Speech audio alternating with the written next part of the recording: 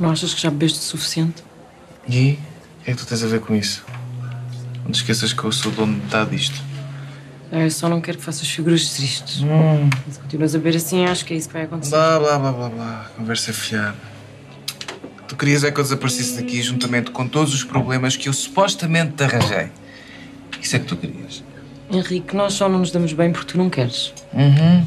Vocês são todos iguais, não é? Nós somos. Estás a falar no Ricardo? Vamos lá, que vídeo foi aquele que tu fizeste sobre os gays? O que foi? Serviu-te a carapuça, foi? Não.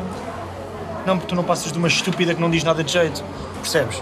Vês logo que aquele vídeo foi feito por uma burra que só diz as neiras.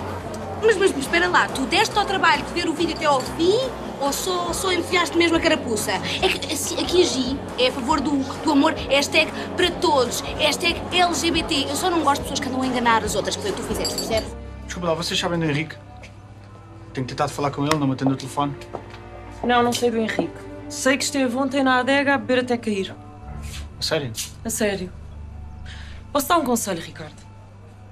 Se não queres nada com o Henrique, deixa-o em paz. Não faças sofrer mais. O Henrique e eu acabamos. Então, Ele acabou comigo e agora nem sequer me atende o telefone. o que é que se passou, Diz Ricardo? que eu não o quero assumir. Eu preferia presa admitir que estive com ele. Até parece que ele não viu a reação dos pais. Mas tu tens de ter mais paciência. Sabes que o pai e para a mãe foi um grande choque, não é? Eles não estavam à espera, tu nunca deste pistas. Sempre tiveste namoradas. Só vejo que eles vão acabar por aceitar, Ricardo. Eles nunca vão aceitar nada. Aliás, para eles é mais fácil aceitar que eu faço assaltos ou que eu fiz assaltos a admitirem que eu sou gay. Aliás, o pai então nunca vai aceitar. Que eu devia ter admitido nada. Eu não queria nada disto, Mafalda. É que eu ouvi dizer que tu estás a fazer voluntariado com doentes, é verdade? Sim. Que fixe. A Alice deu-me um folheto e eu. Eu decidi provar-lhe que era capaz. Ah, então não foi por uma boa razão. Mas pronto, o que interessa é que a pessoa está a ajudar, claro. Claro. Não é fácil, uma fala. Ver aquelas pessoas sofrer todos os dias. Mas Só tenho vontade de me ver embora. eu percebo, nem todas as pessoas têm estômago para aquilo. Eu não queria que tu ficasses com uma mulher que está cheia de problemas, ok? Não podes ser tu a tomar essa decisão por mim. Eu faço parte disto. Mas eu quis poupar-te. Eu quis superar isto tudo sozinha. Isto é um problema que é meu. Tu não tens de, de passar por isto. Isto é uma coisa minha. E eu achei que tu ias ser muito mais feliz se nós Como? acabássemos. Achas que eu ia ser mais feliz se acabássemos? A sério, a mim custa-me que tu não compreendas isto. Eu, eu nunca iria ser feliz sem ti. Não está muito bem, mãe. Não está mesmo. Acho que isto dele se ter assumido como homossexual não lhe está a fazer bem. Ainda é estranho para ele. Ainda por cima agora está cheio de vergonha de ti e do pai. Enfim. Ah, e a melhor. O namorado acabou com ele. Olha, é tudo assim. Acabou com ele? Uhum. Não, não sei o que dizer. Fala com ele. Por que não falas com ele? Fala um com o outro. Acho que era bom para ele ter miminhos da mãe agora.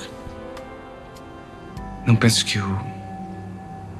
passei a ser a favor da eutanásia. Mas finalmente acho que. consigo perceber o que fizeste pelo Vitor. E acho que.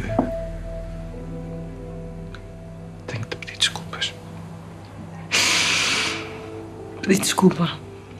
Não te vou dizer que não fiquei surpreendida, não é? Sempre imaginei ver-te casado, mas houve tanta coisa que eu imaginei para ti, filho, é que não aconteceu. Mas eu também não queria que fosse assim. Já sofri que chego com isto. Pois, mas não, não, não deves sofrer. Tens de, de- de- de perceber que se és homossexual, tens de aceitar isso, filho.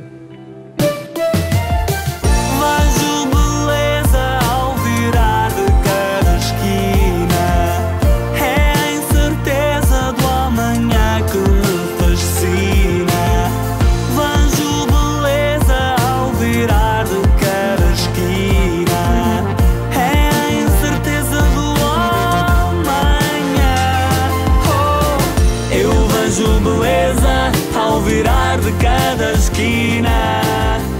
É a incerteza do amanhã.